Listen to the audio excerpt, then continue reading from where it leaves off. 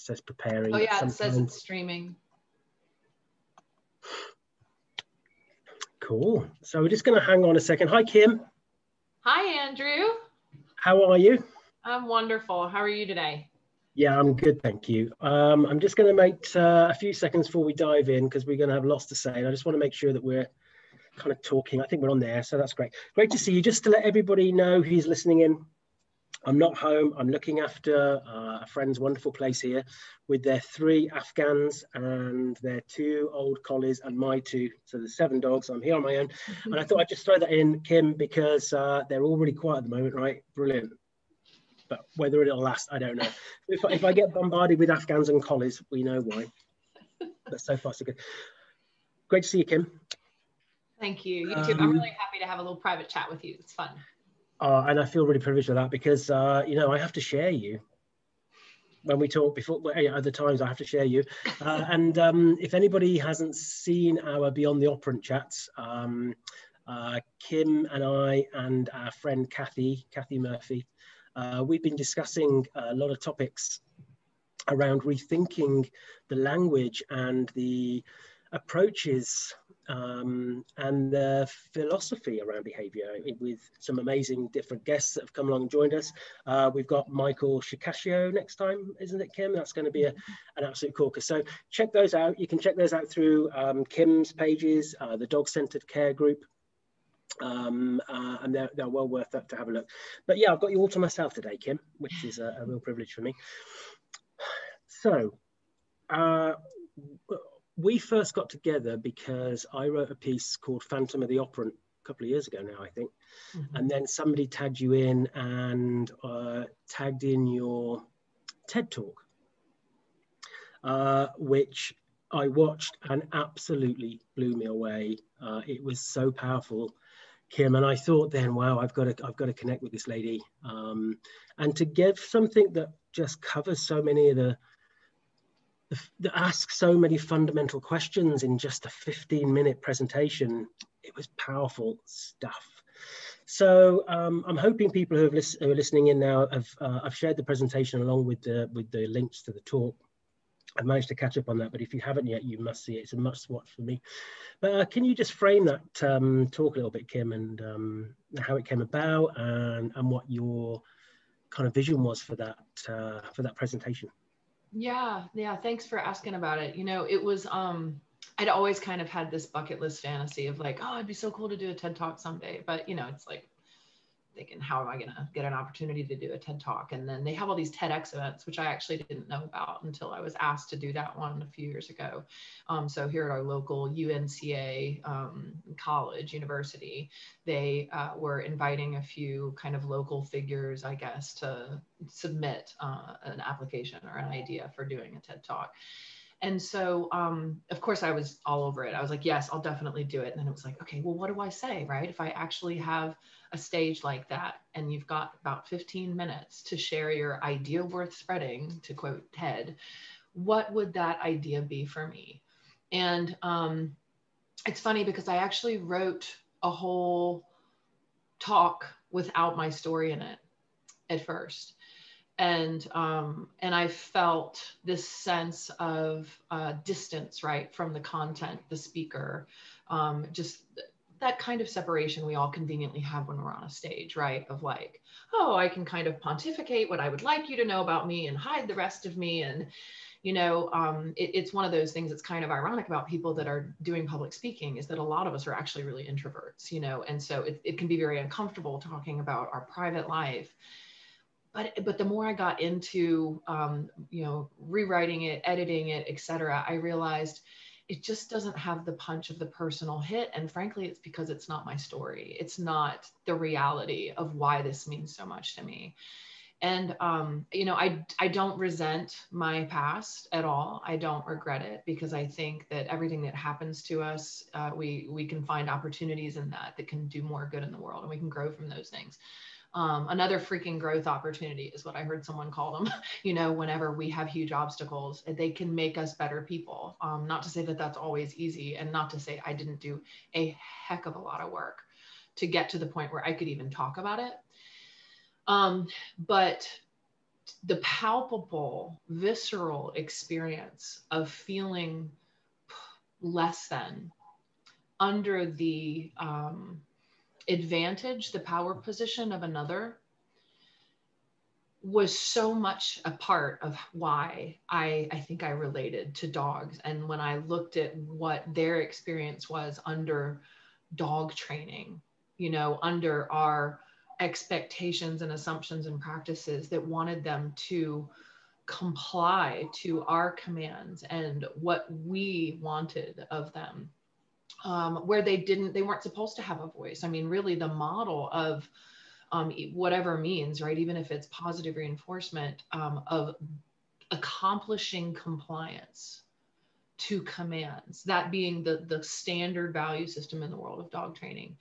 Um, you know i was so completely struck in wanting to work with dogs but i never wanted to be that to them. And and every time i felt i had even an accidental hand in manipulating their behavior for someone else's goals it felt icky and it reminded me of something i couldn't ignore that i really related to. So when i had the opportunity to say hey you know with all the work i've been doing in my career to bring attention to applied ethology and integrated canine science it's really impossible to say what I needed to say without also saying, and here's why I get it, right? Here's why this makes so much sense to me with my personal experience. I think, frankly, there's a whole lot of people that, even if it wasn't the exact same kind of experience I had, have felt that way, whether by a parent, by culture, um, by a family member, by a spouse. Um, you know, there's so much emotional and psychological abuse that goes on in the name of control and power. And I think that that is an unfortunate reality about the human predicament. Um, and sometimes I even entertain the thought of whether that's something that animals wrestle with that way, and whether that's partly the survival, you know, mechanism that uh, social animals feel like they need to employ sometimes. Um, but there's a there's a level of kind of sickness i think that has entered um, humans engagement of it nonetheless whether animals do it or not uh, where we we feel so emboldened and entitled to take the power of another and have all of these cultural justifications around it or um, you know even just family dynamic points of reference justifications around it in our minds um, and for me, it was so powerful because I kept something a secret for a long time in my life. And I was so ashamed of having been on the other end of it, as if, as if it, you know, the the success of the power dynamic had made me feel smaller and made me feel like I was less than. And having done the work of the therapy to start to heal those wounds and feel okay about myself, the opportunity frankly to share that message with the world was was kind of the final piece of my own healing. And it was a really terrifying and amazing moment to say i'm not ashamed of this you know? And and frankly it's it's part of what made me who i am. And i want to tell others that um, they need to tap into that part in themselves in thinking about dogs and realize that a lot of the normal ways that we interact with and relate to our dogs and the expectations we have are accidentally, if not intentionally, psychologically and emotionally abusive for them. Um, and I think that it's we've evolved enough as a culture. It's just time to stop tiptoeing around that. And I think that's what was so powerful for me um, when I saw the TED Talk for the first time, because, you know, you didn't kind of break us in gently, you didn't do a lot of pleasantries. It was bam. This is my part of my experience. This is what I felt viscerally in that moment. Uh, and that really gets you connected then. It really brings you in. Uh, and then it allows us to have a bit of an opening then to start thinking about the perspectives that you introduced then regarding how we have traditionally viewed our companion dogs and how we train them. And I think when we think about it from a, I, I did a little talk last night actually on the judgments and language around behavior. And it's important to recognize that we all have a belief system that is uh, the brain's way of just trying to create some surety about what's going on so it doesn't have to reprocess everything all the time. Mm-hmm. and uh, um, and part of that is then the brain wants to have that kind of predictability of outcome. Uh, it creates some biases to protect that belief system and predictability outcome. But from that moment on when we have that we then start looking at how then how we judge situations the expectations we put on those judgments and the language that we do. And invariably it can lead us to seek to control and coerce and to change behaviors that either have to fit with our belief system or that uh, we think challenge our belief system, we need to change them. Uh, and the reality is that process is very easy. You know, it's not, it's very kind of, it's almost reflexive in a way. Yeah. So uh, it's very alluring to have that not alluring is the right word, but it's very, um, we can see why we've created this structure, the traditional structure around dogs, because it kind of fits all that, right? And especially the dominance model. The dominance model came around for many reasons, as we know. But the reason it's really kind of uh, got quite fixed in is because it fits that the need to control, coerce, to make a judgment call on what I decide is good or bad. Mm-hmm.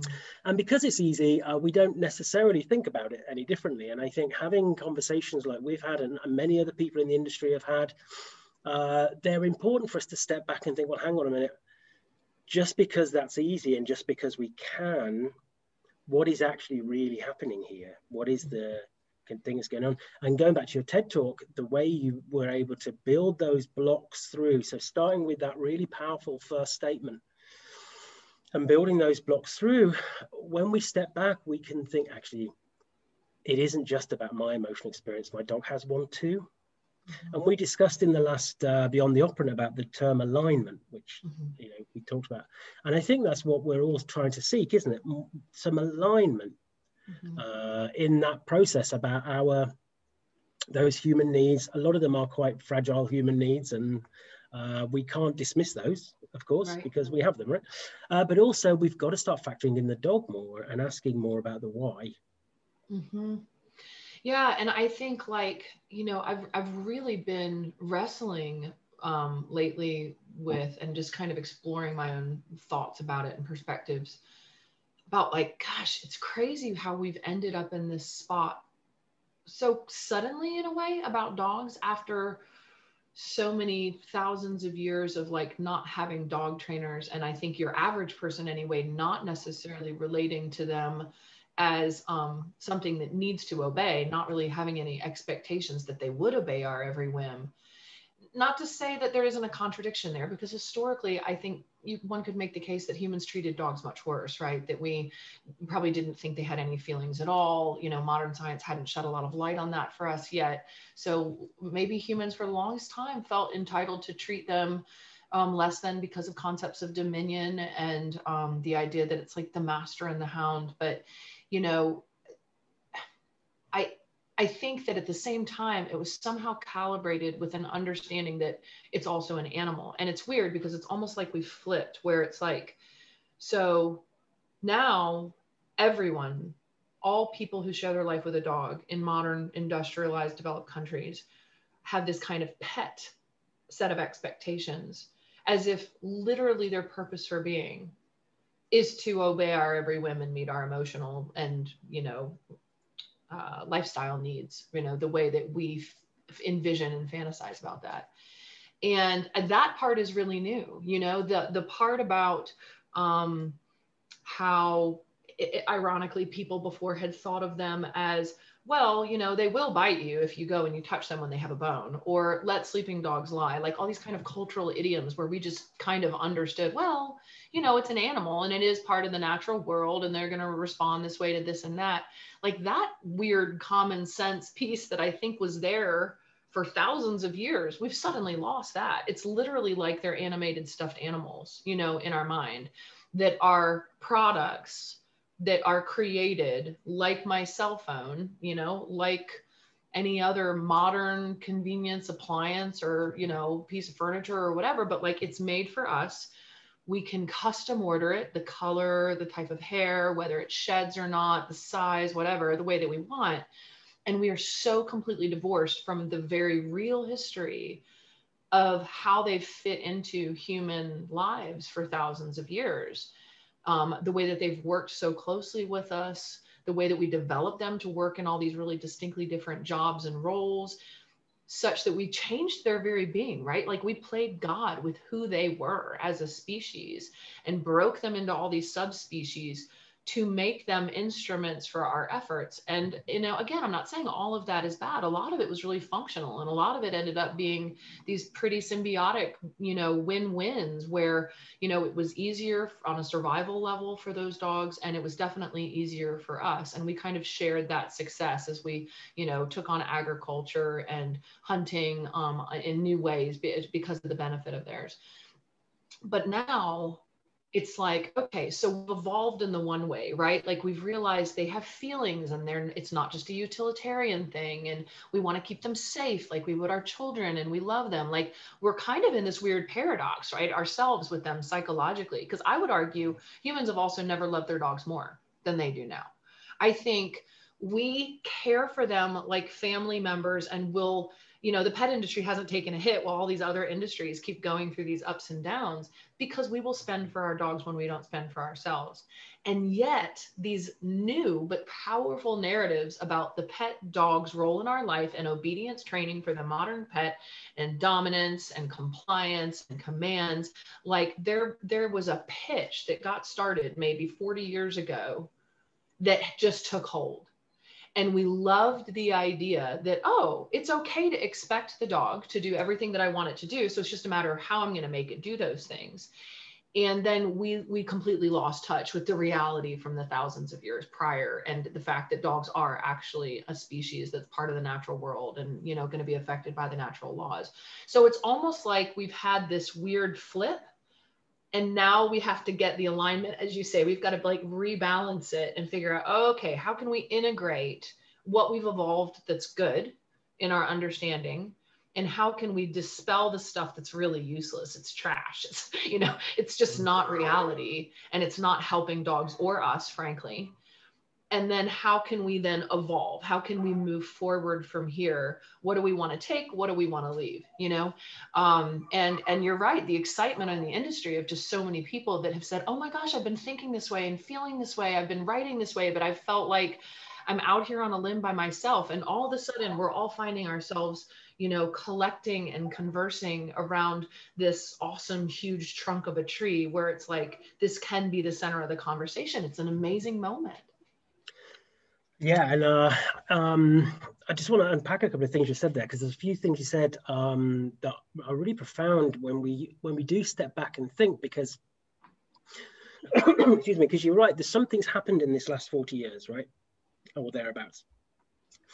And um, I think we can make some connections here between um, the uh, complications uh, of our own care needs uh, as we've kind of gone through this crazy spell in human history with the development on and changes in our societal model, which has left us to have even more of our own care needs are unmet. Yeah. Uh, whilst at the same time, we've been um, had this new era of dog ownership, which mm-hmm. has got a different angle to it, but which was looking back pitched at the wrong angle because it was pitched very much around all the kind of language that we have obedience dominance um, uh, all the kind of things that we're kind of have been led to believe has to be there as part of that training model. Mm-hmm.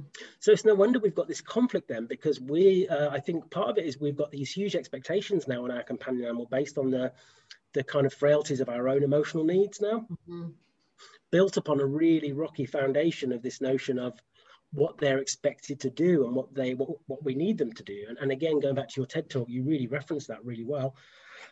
And uh, so this thing about alignment again realign or align yeah realignment alignment is important because the things that we're talking about now and you're right there's lots more people coming forwards and saying i've been having those feelings or i've been uh, uh, thinking about those thoughts. We have to somehow shift that balance to get it more equitable mm-hmm. before we can start moving in a different direction. Because I do feel uh, this is going to sound a bit controversial, maybe, but I'll say anyway. Why not? Um, I do think that the, the training model that we've had has, has kind of sold us a lie. Yeah. Right. Uh, and uh, and the caregiver following these things that they learn early on about, you know, the obedience side of things, especially, and, and what the dog's supposed to do. Um, a lot of these things are, are not attainable for them. Mm-hmm. So they feel that, like you said in the in the TED talk, that they've they've got a dud. That the dogs the dog can't do it, so they're, they're, there's something wrong with the dog, or they take it personally themselves. There's something wrong with them as a caregiver. They can't do it right. Right. Um, and underpinning all this, of course, is the huge explosion in the last 40 or 50 years of consumerism and yeah. uh, the collection of stuff and the expectations around what that stuff is and what it should do and what it should be. So I think it's, it's quite a melting pot, isn't it, Kim? Yeah, I mean, it, right? It's it's funny because I like years ago came up with this idea of dog in the coal mine, like they're an indicator species for us, right? And like, oh no, the dogs are suffering. We should look at humanity and what's actually happening to us because they're they're showing us where we're headed. But um, you know, you're right. I mean, there's so many complicated things caught up in the dog phenomenon. You know, our our need for control, our um our, our own separation from our roots evolutionarily, you know, naturally in terms of, um, you know, even things like you stop and think about something as basic for dogs and for us about like needing to exercise, right? When like forever for every species, exercise was just part of survival. So you didn't need to arbitrarily like go to a gym or like run the dog or throw the ball. And how weird is it that in such a short period of time, you know, in a century, we've found ourselves in a place where the thousands of years that came before feel like something we don't even recognize, you know, where our reality is so mm-hmm. contrived and indoors and sedentary and restricted and controlled in general. And, and then so it, it seems when everything in marketing, whatever the product be, even unrelated to dogs, is telling us you have a problem, we have a solution our product will save the day. It'll fix blah, blah, blah, blah, blah. You can have everything you want and you deserve everything you want. And if you want a dog to comply to every one of your commands, then we can make that happen. It's like, so everything in marketing, in a way, is about all these lies. And we all kind of know that. But actually, this is a really good example, too, of how I think that training can be part of the lie and it can be very manipulative. And it can be an example of how we or dogs can be conditioned to have ideas and responses that don't fit who we actually are or what we want or what works for us. Like we all are conditioned through marketing against our will because of the operant model and how absolutely true operant conditioning and classical conditioning, the model of behaviorism, applied behavior analysis is. That is legit and it's happening all the time to all of us and dogs. But marketing experts know how to use ABA and behaviorism, as well as the best dog behavior practitioner out there who understands ABA inside and out in order to manipulate and change our behavior against our will. And so, even though it works, right, like we would make the case, oh, my training is very effective. Look at the results that I'm getting and the changes in the dog's behavior to get the outcome that I'm wanting but is it good for me that you know i have all those marketing messages in my head? Is it good for my 14 year old daughter that she has all those marketing messages in her head? Is it good for our dogs that they feel this obligation to follow us around and go into a downstay at our feet because we trained them to do that as an expectation we've conditioned? But is that actually functional for the dog? Is it good for their well-being? You know and um and, and i think a lot of it is just kind of the modern phenomenon mess that we've all found ourselves in and the momentum is so powerful none of us know how to turn it all back right? Like E.O. Wilson called this out, you know, in the early 20th century in his book Biophilia about the machine antipode and humans moving away from their evolutionary natural roots and towards this idea of like the mechanics and what we can control and kind of making this plastic reality for ourselves. And frankly, we brought dogs along with us for that ride, right? Because they were already our sidekick.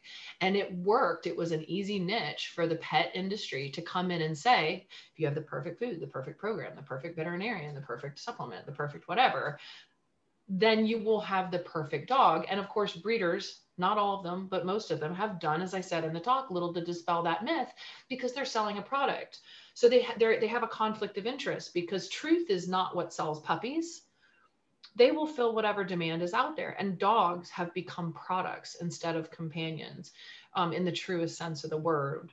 So that means they are just now sadly part of that whole marketing pitch. And i think as a professional i can speak for myself coming into the dog training world i felt like my job is to deliver the product of your desired behavior change to you for your dog at the beginning of my career. And the sense of failure i have if someone comes in and it's like well he's still doing the thing i don't want him to do.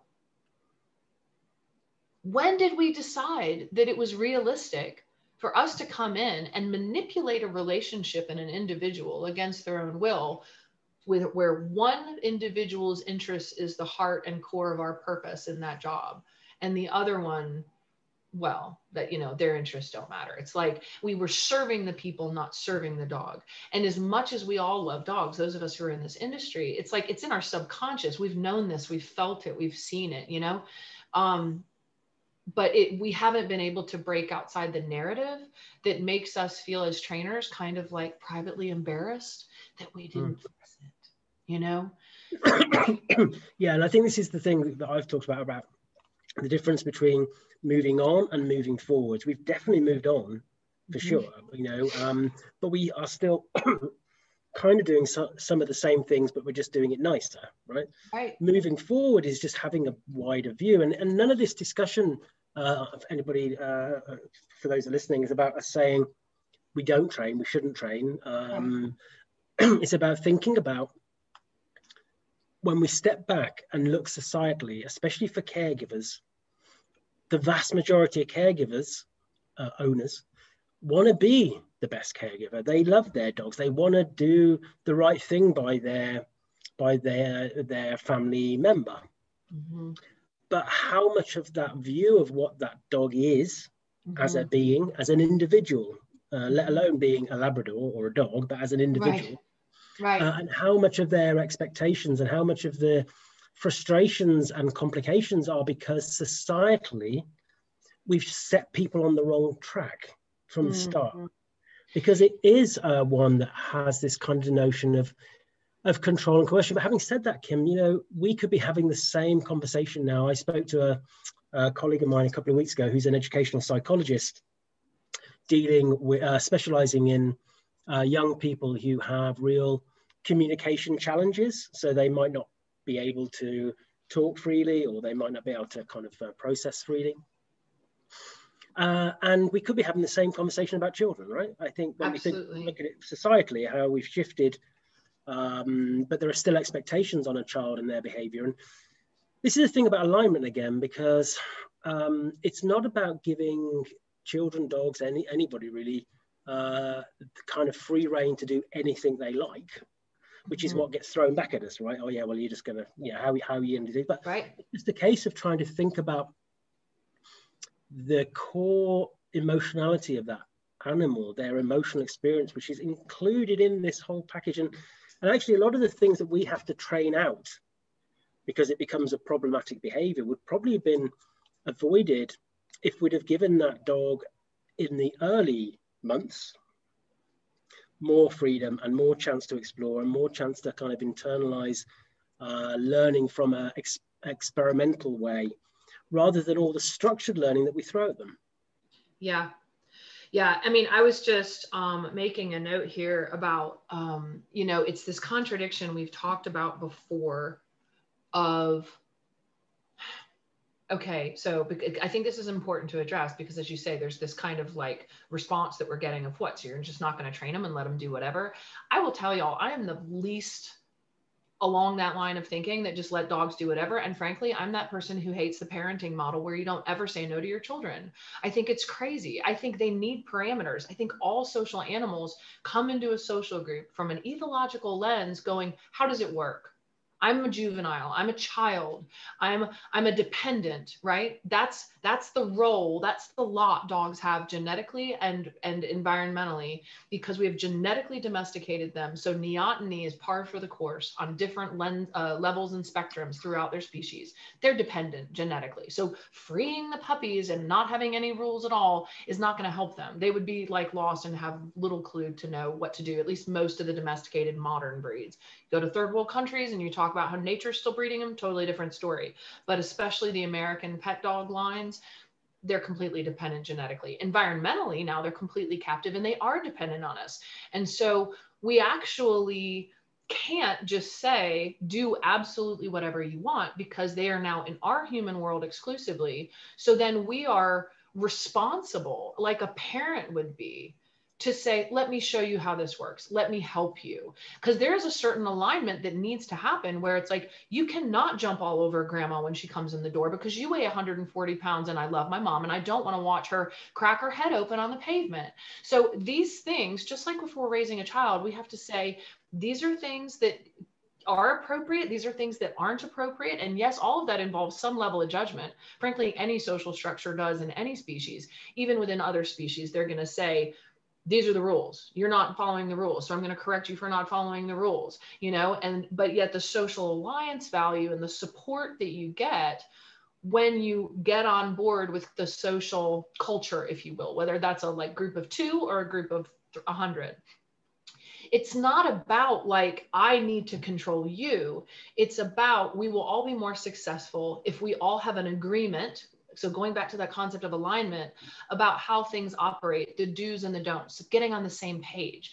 And you don't have to actually like manipulate in a contrived way another's behavior in order to do that. It comes back to feedback and communication and validation and information. So i want dogs to understand that like i have information for you that can make your life go much better. And I will give you gentle feedback about, awesome, you're doing it great. And actually, no, not so much, right? Like that's, we can't really do that. Like that's not an appropriate way to interact with grandma. So we're going to come over here and take five. We'll try it again in a minute, you know? And that whole idea of being able to educate. And so thinking of it as I'm explaining, not training is something that I really like to focus on. So I'm, I'm showing, not just commanding what your behavior is. And i do think that we have we have a role in that to to help them with it. And so i just i want to say that because i understand the fear that some people are saying. And i would share that fear if i didn't kind of understand what we are saying that you're all are just suggesting not to train dogs. And that's not at all what we're doing. Um, but i will say the shift is in part not just that how to do it to the why is it happening so that we know what kind of feedback to actually give that would be helpful for that dog's experience. But it's also about instead of us just memorizing like as if we're learning how to fix washing machines how to train a dog and then we go to our clients and we're like this is how to change behavior. We should all as an industry be learning how to have critical thinking and problem solving so that we can assess in the first place what needs to actually change um, small case in point example, and I just posted it on our um, Legs Applied Ethology course group Facebook page. Um, I had a client who sent me a picture yesterday of her little Scottish Terrier. Her homework was to buy him a vest that was somehow hilariously and kind of cutely saying, Don't touch me or I'll bite you, because this dog is the very definition of appropriate, minds his own business, goes on the walks, doesn't bother the neighbors. And no matter how many times they tell the neighbors, don't pet him, he doesn't like being pet by strangers, they have neighbors that will keep petting him. And shocker, he bites them when unsolicited, just like I'm talking about in the TED Talk. Someone comes up and pets him and he doesn't know them. He's like, Get your mitts off me, buddy. You're a stranger. Why are you stroking me? This is super awkward. And he's got a huge mouth and big teeth. And so he's landed a few bites. But he is not a dog who would bother anybody. So they got him a little vest. Instead of me saying, Train him to tolerate being pet by strangers, which is kind of the old model we have to fix him and make him liking being touched by strangers. I said, get him the vest. So she gets him this adorable vest that says, um, I'm a bit of a twat. Don't pet me. and while he's not actually a twat, job done, right? Because people will have a giggle and they'll keep their hands to themselves. And so looking at things like that, right? Is dog training what we even need to be doing in the first place? Is this a matter of explaining it to the dog or is it really a matter of being clearer with the people? And again, loads to unpack even uh, from all that as well, because when there's there's two ways that we have to see this, uh, in my opinion. The, the first is what we have now, mm-hmm. right? So um, because the real the real situation is that the the zeitgeist, the norm, is still a lot of carers viewing their dogs in a certain way, um, uh, more of a traditional outlook. Uh, and dogs, from a, the very moment they come into the human environment, having that really heavy emphasis on structured learning. Mm-hmm. A lot of that learning will have absolutely no internal value to that dog. It's just because mm-hmm. they've got to do it. Mm-hmm. So that's the one thing we've got to recognize. And that's difficult for us because uh, when we go and see a client and their dog, we're already inheriting all that. So mm-hmm. think about it. a good way to say that. Mm-hmm. The other thing, the other side of this is, okay, so we kind of know that. And this is why these discussions are so important because, okay, that's there. But what does this future look like? What is the what is a different vision? How do we change stuff? I saw some amazing on um, no, it was on Radio Four over here. I listened to it on Radio Four, and um, they had a lady who is bringing up her child in, in, a very free way so the child can express themselves emotionally uh, a lot of experimental learning. Um, and one of the other people on the panel said look you're doing your child a disservice because that's not reality. This isn't real life. So when when she grows up this is the adult world. And the lady said back to that person but it depends how we're going to look at this. We can either take your view that somehow my efforts are going to be uh, a waste of time because that is the structure that my child's going to go come into mm-hmm. or we think well maybe the problem is the structure in the first place mm-hmm. maybe this is the problem mm-hmm. not what i'm trying to see and i think it's a similar yeah. process with the dogs and i think um, uh, with us thinking as an industry about how do we create more input from the dog, create more agency, how do we allow more experimental learning. Um, Scott from uh, Effective Dog Behavior, he talks a lot about seeking connections and that social connection. And I think that's important because when we think about some of the things you were talking about a minute uh, earlier about how we can offer the dog uh, direction and connection through mm-hmm. our education mm-hmm. that, so it can have internal value. So mm-hmm. when we're thinking about Rover and Gran coming and not jumping up, when we think about the reality for the dog and where that jumping up's coming from and what can we do to add internal value so you can still get that connection you seek Mm-hmm. but without knocking granny over in the process. right. Now we're getting alignment, right? Right, right. Uh, yeah. And I, I, think it's one of the reasons why all my dogs goose people is because I've accidentally facilitated that as like an appropriate alternative to jumping because that kind of ramming their head between your legs and standing there while you're rubbing them, it's like it's so satisfying to many dogs. And I, you know, I didn't realize it for a while till I was like on my fifth dog that goose people. And I was like, well, I've done that, but I don't care, right? Because like, and they're not doing huge crotch sniffing and like all sorts of invasive stuff, but just like if they want to connect, just kind of putting their head against someone's knees, you know, and not being pushy about it. Like as a wonderful alternative, like, see, that's so sweet. And people like that. And it feels meaningful and connective. And you're not knocking grandma over. And uh, that, what's good about that is it's that, that, that middle ground, that safe mm-hmm. a way for the dog to connect socially, which is great. Mm-hmm. uh, and also, it's an invitation for the human to connect. Yeah, with my with my Labrador, you know, he uh, anybody who had met Harley would think that he loves people, but he's actually quite sensitive, uh, socially, dogs or people. But he'll come over and he'll grab his toys, Labrador, right? But he'll bring it over, and uh, he doesn't want you to have it he doesn't want to share it with you. It's just a really good way for him to find a safe way to have some kind of social engagement. And when we think about the psychology regarding social processing, social engagement, we, we need to talk more about that and, and investigate that more because uh, you know from an ethology point of view how much the brain has connected to that process, how important it is. Social threat evaluation, we take it so much for granted now. You know, I, you know, I could go in the good old days to see a client and they'd let me in their house and I'd sit down, have a cup of tea. There's a lot of stuff that's gone on for the brain to allow that to happen. And we've kind yeah. of bypassed some of that process. But even we, when we do a lot of that processing subconsciously, of, of course, if you are more reserved person, you will be more aware of that threat evaluation process. It'll be more right. right? But even us, we can think, oh, there's something about Kim that I'm not quite sure about, even though mm-hmm. she's been really nice. And that's that process. And our dogs will invariably, you know, Kathy Murphy will tell us, will have a similar neurological process about these things. A lot of the time, these dogs who are jumping at people or uh, uh, being having a, like a silly fun response or are being grumpy to other dogs, it's not necessarily about the person or the dog. I feel. It's because that social processing process that they need to go in, our world doesn't let them play out because social engagement is thrown on them so quickly right? Well and and i so let's i have two points there. Hopefully i won't lose my thoughts. So the first one is that the the expectation that we have and i think this is part of the old stuff that's brought along from the past and then the pet marketing industry just hasn't dispelled it yet. The cultural idea is still that dogs are really dumb. So you know i mean and i'm not picking on the clients who say this and even the professionals that continue to kind of accidentally endorse this just because we are all taught it but right the idea that well why does why is he growling at that person? He likes people. Or why is he growling at that dog? He likes dogs. It's like when did we ever get the idea that dogs if you introduce them to a half a dozen people and they give them cookie give them cookies are just going to like everybody? Like on what planet is that realistic that anyone likes everything?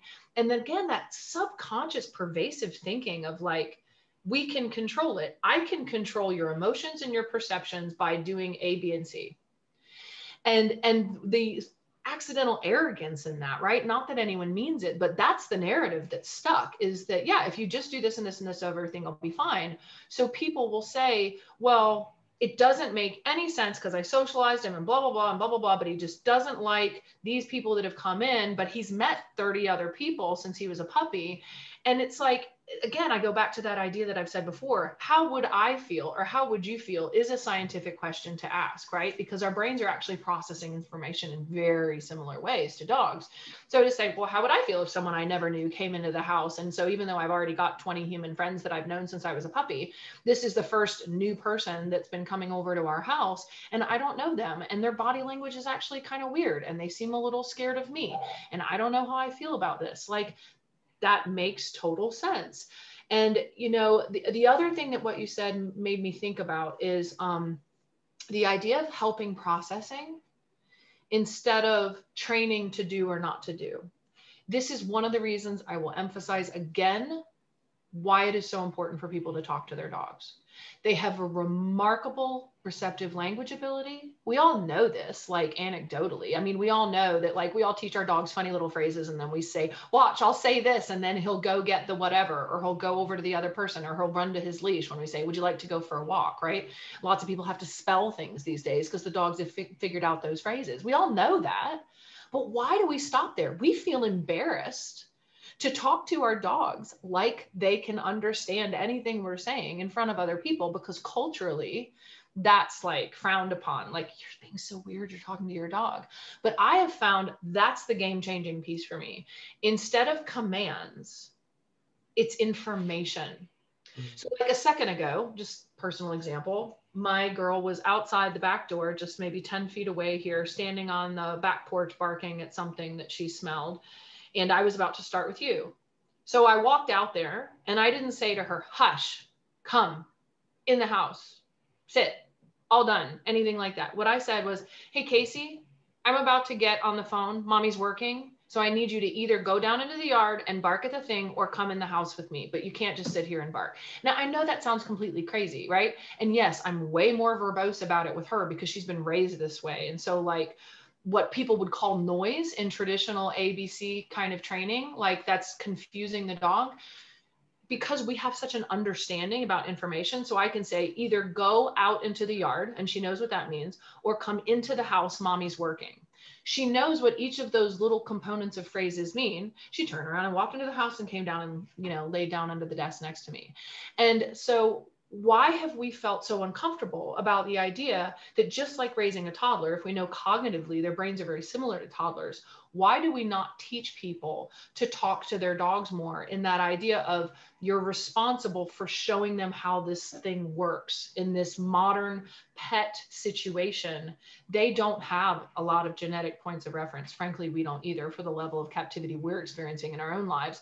But we are the only one who can be an anchor for them and a touchstone in that, you know, and it's our job and that's uh, what you described there is this whole thing about experimental learning and how powerful that is because it's more likely to have internal value. We can all share similar stories with our dogs about, um, like say, if I say these kind of things, or if I do this, or if I put these together, my dog does that. These aren't things that we've trained in a structured way. They're things that yeah. the dog has in, added internal value through experimental learning and connection, that kind of social connection with us.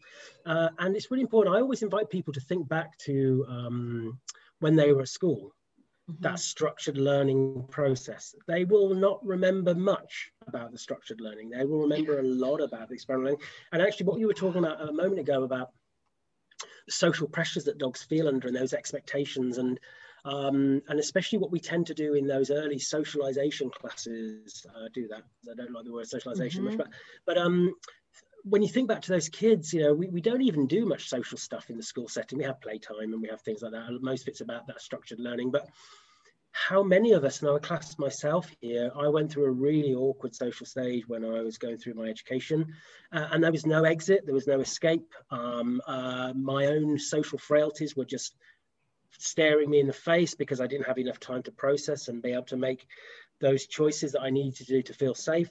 We can all remember those times. Uh, and this is something on a very kind of connected level, right? Because it's not a it's not a conscious thing where we're thinking about it. It's just how how we feel, how we connect. Right. and I think the more we can think about experimental learning, you know, um, uh, and there's so many people looking at these things. You know, Sheila Harper has been talking about this for a long time. Of, of course, um, Turid and Linda Rugaas, mm-hmm. um, uh, the slow dog movement over here in the UK, Laura Dobb, um, mm-hmm. uh, and this notion of just slowing stuff down and seeing how the dog processes, trying not to make too many judgment calls and trying to kind of dive in. Mm-hmm. Um, but this is that generational shift, Kim. You know, I don't do puppy classes, but I, I do I do one to one, so I, I, I have that luxury, I guess. But having said that, I've got colleagues over here in the UK, and, and one of them's going to come into the group soon to talk about the amazing thing she's doing as part of a class environment, mm-hmm. which is taking the rule book and throwing it out the window. And it's amazing, it's inspiring and getting great results. But on a one to one level, um, I need to learn from that puppy first, and we've got to kind of work things through. We've got to find out how that puppy's connecting, look for those individual things. A lot of stuff, as, as you've talked about, that puppy's got innately. Mm-hmm. Yeah, Mother Nature's pretty good at giving us what we need at the right time, right, during our development. Right, right. Um, and uh, so, as a caregiver, we should be. Um, I always see us a little bit, you know, when you go bowling, tempi, tenpin bowling, and you've got those rubber rings down the side to stop the mm-hmm. ball coming out. I kind of see that as us, right? Uh, but we've got to let the dog play the game a little bit and, and not yeah. be too. That? Uh, and it's the same again with bringing up kids. Uh, it's the same sort of I, thing. I was just going to say that is a perfect analogy for what I was going to share about like my own parenting experience is like, this is why I'm not saying don't teach, do nothing, let them do whatever. Like boundaries do make them feel safe, right? If they have nothing to bounce off of off of, they become more dysfunctionally anxious, especially as a dependent, right?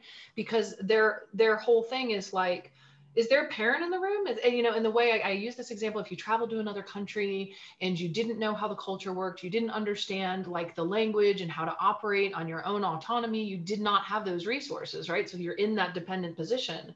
You're terrified, like if you land in that airport and your tour guide doesn't show up and you're like, I have no idea what to do. Like, that's a panicky feeling. That's not fun. So that kind of freedom is not the kind of thing I, am talking about. You know, when that tour guide shows up and is like, "Oh, I'm sorry, I'm late. Here's what we're gonna do. Here's the plan. Here's how this works. Let me help you. Let me show you." That's like the bumpers in the bowling. Like, so yeah, but what about this? Oh, okay, Miss Brophey, this is how this works. Oh, but what about this? Oh, Miss Brophey, this is how this works. That's why I like the explanations model and the kind of you know that individual has the ability to take initiative towards the circumstances that i don't have the ability to take initiative towards certain circumstances. They know how to flag our transportation down. It was a different cultural dynamic there than what i might be doing here in the united states right? And if i don't know how to operate within those circumstances being asked or burdened to operate within them without the guidance and the information is horrifying. So like the way i raised my kids was that kind of feedback model, right? Like there are things that you might want to do that seem appropriate to you as a six year old or seven year old or an eight year old boy in your classroom that are not going to be functional and will actually cause harm to others which is another part of social education is as a social animal your behavior has ripple effects on others. And we also have to respect them and their feelings. So it's not just your feelings matter do whatever you want or that mine matter and i can do whatever i want. It's that we're within a culture within a society. And so there are some agreements about like when he was in class my son who was he, my son is the very definition of like huge personality in the room wonderful critical thinking, sees all the inconsistencies and in what people are doing, was never scared of authority. And so, like, I got calls from every teacher every year of his life. Even if he was a straight A student, we got lots of phone calls from things like, So, your son in the second grade today decided to put his lunchbox on his head, put his legs through the back of his chair, and walk to the bathroom dragging his chair while the rest of the class was listening to the teacher because he had already finished the assignment. He already understood it. He was bored, basically, is why it happened. Um, and so for him, it was just amusing. You know, it was like entertainment. He's a little kid trying to figure out where are the lines, right? And so having to say to him as his mom, I get that you're bored. I get that you're a kid. I get that that seemed like a fun, exciting idea. I get that it's reinforcing to have all your friends giggle at you, right? I get all that stuff but the phrase I used to use with them is even if it is, it feels like baloney to you, right?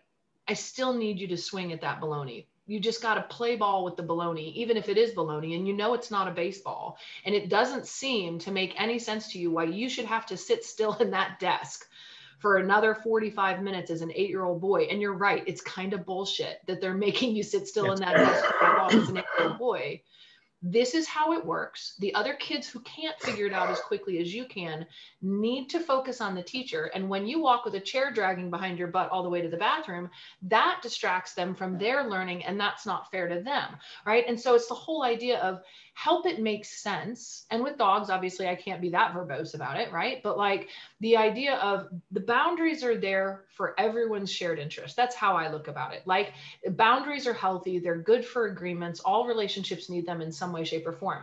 And that's my job.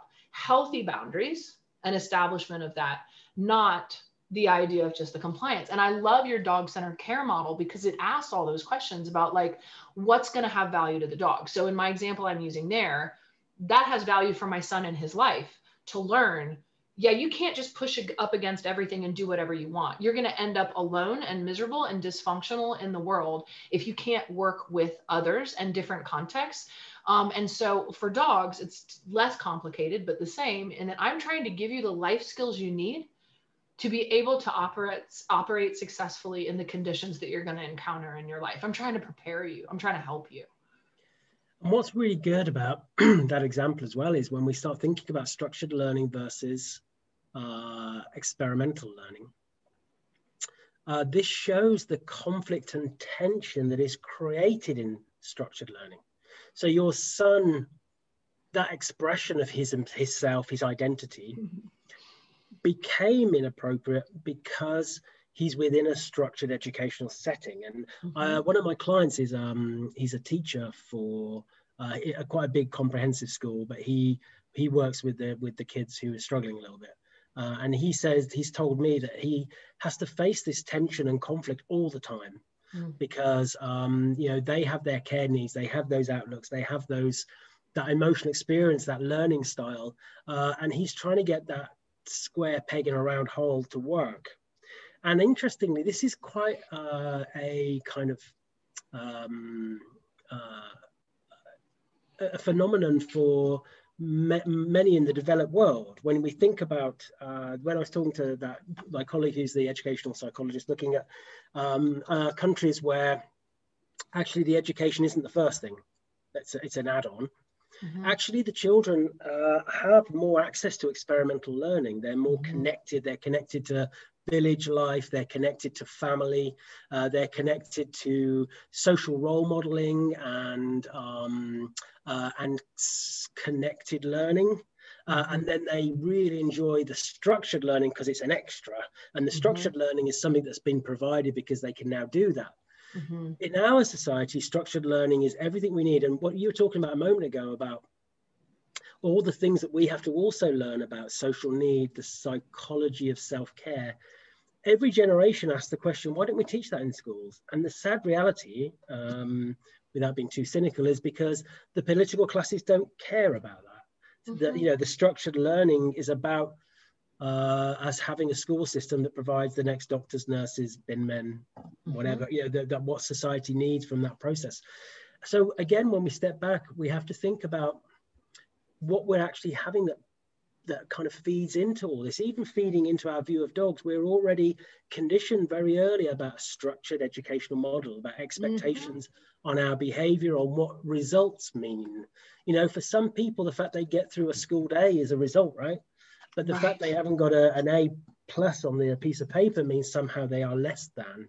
Right. Uh, so it fits then. It's very easy because we don't have to challenge our thought process to think, same for my dog. You know, mm-hmm. I've got to be able to attain that good citizen scheme for my dog to have any worth, or I, I need to be able to do that certain type of training and have that kind of output because we're already kind of conditioned for it many of us, some people aren't, of course, and um, you know, some people have have had uh, homeschooling, or we've got the mm-hmm. forest school system over here. I don't know if you've got that over there, which is more about the child having more agency and more connection to their mm-hmm. learning process. Mm-hmm. to unpack there. I think it, it uh, goes back to what you were saying at the beginning too about um, the brain, right, and expectations, and and how you know everything we've been talking with Kathy so much about is that like the brain wants the solidity of a belief system and the expectations and the predictability of systems. I mean, if you look at like human behavior too, it's complicated as we are I mean, all the different cultures and cultural norms and religious norms and expectations and prescriptions. It's like the brain is just dying to create order out of the chaos, it seems, you know, in a world that's very overwhelming and complicated and changing. We want to kind of find patterns. We feel more confident and relaxed and assured when it feels like, okay, I know what to do. I know how this works. That feels reinforcing for us and it feels like solidifying even if it's not true. And so we have to kind of compassionately navigate the phenomenon of our own brain function and biases and the fact that we are kind of um, primed to default to those oversimplistic perspectives on things and that that's okay and we're not horrible people right for having missed it till now and I, I think that's really important to say too is i'm not beating up dog families. I'm not beating up dog professionals. I'm not saying, oh my gosh, this is so horrible. All these people are doing it wrong. I'm saying, wow, we got really lost in the weeds. yep. Let's find our way out, you know, together.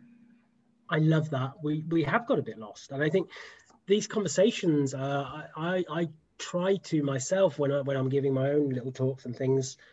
Uh, is invite people to find their own truth through some of this, uh, mm-hmm. and um, uh, and again, coming to that term alignment, I think we can all, if we're honest and just step back, think, yeah, actually, we do need to tip the balance a little bit to be a little bit more equitable. Mm-hmm. And we could probably say the same in our family unit, actually, yeah. with our work colleague. There's, there's lots of areas where we need to.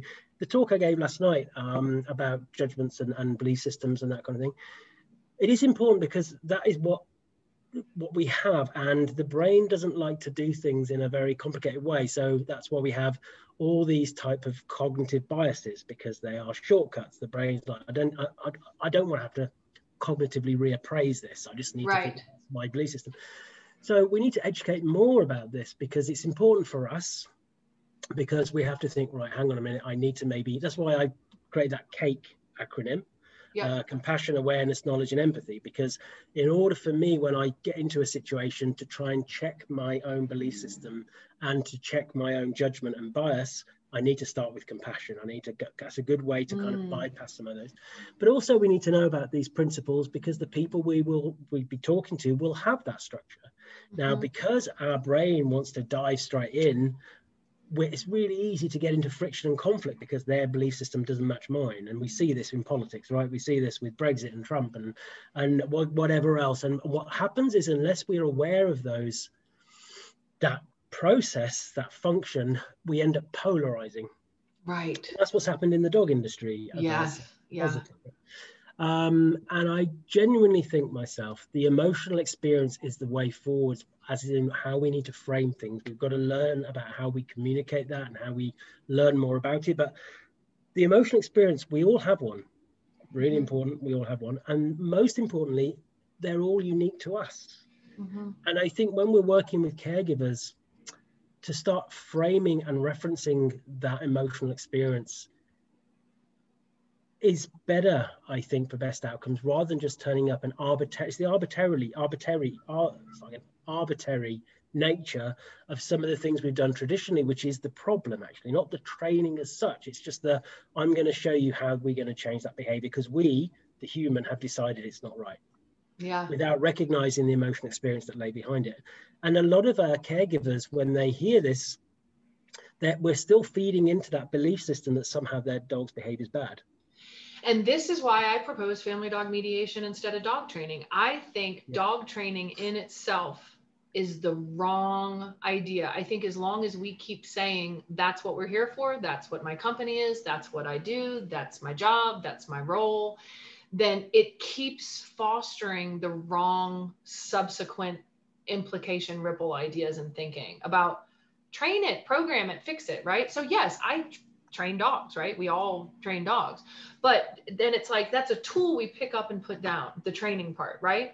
So at, at the heart of it, we should be mediators between two species. At the heart of it, we should, like, a mediator's job isn't to go through this prescriptive process. A mediator's job is to say, You tell me what your needs and concerns and goals are. You tell me what your needs and concerns and goals are. Let me help you guys find the middle ground, which is why I named the book Meet Your Dog it's you meet them in the middle right? Like it's this compromise and this relationship dynamic where everybody gets to matter. And i'd never heard you talk about your cake analogy but i just have to tell you i love it because it fits really well with something that i've been saying for a long time which is you can't put icing on a cake that's not there unless you just end up with a bunch of shit all over the floor. So that's what dog training is to me. We put we forget the cake. It's falling apart. It's like got no, you know, substantial um, support to it, no integrity to its structure.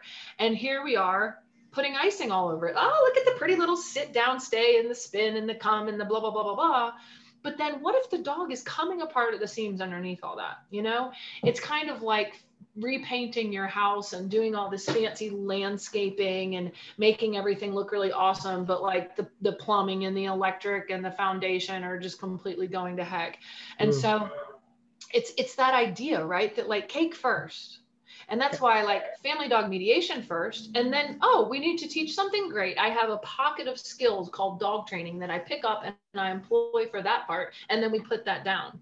But your homework might also be to get that vest for your dog that says, My dog's a twat, don't touch him, just for his benefit and your benefit. Put the onus on the people that are doing it wrong and make sure that they're not petting him, you know, because that's not a dog training issue in that particular case. He's not doing anything wrong. I think that's and I love your term, you, how you've introduced the term mediator, mediation uh, to this process, because that's kind of what it is, right? Um, uh, and coming back to that alignment thing again, it's finding that kind of middle ground because that's where you that's where you build the best foundations, right? Mm-hmm. And I think um, uh, for our colleagues listening who are passionate about trying to do things in a more humane way, trying to do things uh, without the tools and methods that have, we've used in the past, um, the best way, in my opinion, that we really try and get clients to to really have value to that is by starting off with these discussions about the emotional experience and, and those those dogs' emotional needs because uh, this is why I call it the operant merry-go-round, um, which is purely about the fact that if we just keep trying to fight these battles purely on methodology, methodology and tools, we won't actually get anywhere because the reality is going back to those belief systems, you've got that client, they believe in the dominance model or they they have um, you know uh, the kind of um, the popular view of what it is a dog should or shouldn't do, we can turn up and we can say, yeah, we're going to do this, but we don't use those tools anymore. We're going to mm-hmm. do this with food. But the reality is, there's a good chance that carer is still hearing behavior bad, need to change it. Right. So we haven't necessarily shifted their belief system at all. But if we're going in and supporting their emotional experience, I, I always try and um, educate about the emotional experience in a neutral way. So I never reference the dog. I just say, this is the kind of the emotional experience. Then I can say to the carer, so bear on mind that, tell me how you feel about what's going on with the dog. And then I can say, oh yeah, your bucket's pretty full there, or you haven't got much, many doors open. These are my two kind of knowledge I use a lot about the process and emotional experience. Now I, we can start talking about the dog, right? So it's just that connection. And we can yeah. bypass some of those belief filters. Belief filters are just the cognitive biases that we have that defend our belief system because our belief system is important for the brain to hold on to. But if we challenge it too directly, those belief filters will kick in, those cognitive biases, and we're going to shut them off to anything then. And, and, this is why I think maybe as I'm thinking about it, we actually are mediating three parties, right? We're mediating the dog and the family and culture because at the same time, we have to bring in this kind of faceless role of culture and say to the client, hey, this party gave you bad information. And that party didn't do it intentionally. That party didn't have good information to give you. Right. And so it's but that's not your fault because I do think it's important as we start talking about the dog's emotional experience that that weight just doesn't get passed on to the carer, like you say, like, mm-hmm. oh my gosh, I've done something wrong, I've failed, I didn't know he was feeling that way, I feel so bad, I was for, you know, no, no, no, no, no, I don't want you to feel bad, I don't want you to feel bad at all. I'm trying to help you too. It's not even just helping the dog, it's it's finding our way out of all of this stuff together. Um, and and I was just thinking a moment ago, I don't know why it popped up, but I was thinking back to the beginning of the conversation, talking about the TED talk and talking about my experience. I was thinking about how, you know, strange it is in that operant merry-go-round model, like with the narrative that's been dominating the last decade about just use positive methods to accomplish the same compliance. I had this horrible vision of frankly what is one of the worst parts of my memory which is what we all think about as that kind of predator behavior of grooming when we're like it's okay. I love you. It's okay that i'm doing this thing to you because i love you. And if you do this then you will get this. And you know like that is creepy nasty stuff.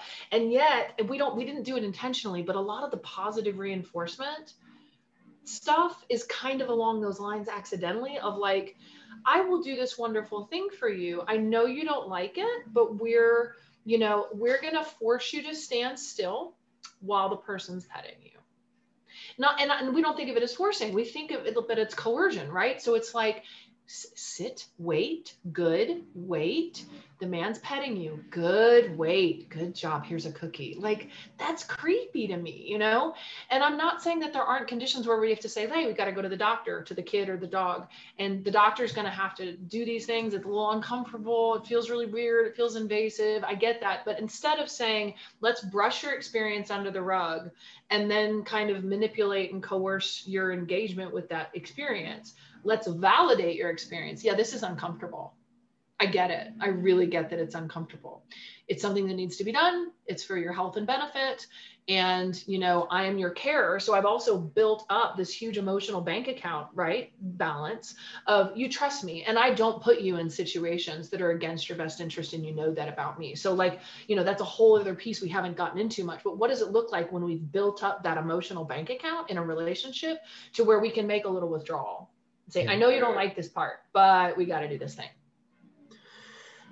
And that brings us quite neatly kind of in a circle really, because um, obviously right at the beginning, we were talking about your your kind of motivation for the initial TED talk. And I, and I think um, we can all relate to times in our lives where we've had to endure for many reasons because the power has been taken from us to be able to disengage, to say no, to give consent, or whatever it is. Um, uh, some of us will have had that through kind of genuine trauma uh, and and the, and the effects that has on us and our belief system and our outlook and how we how we end up moving forwards to that. Um, but uh, even um, uh, even on a on uh, I was going to say small level, but every, every, level is it has value, right? So it's not a case of saying that's more than this, but but uh, but, but we can all relate to that, and I think that's a really good example about um, why do we this that why again? We totally get the why when I have to go to the dentist and I really don't want to be there. And, uh, you know, I've had to kind of work with myself to get myself more comfortable and I'd sooner not be there, but I've got to be there or the dog in the vets or whatever. But that person in the street who comes over and says, I need to pet your dog, why? Right.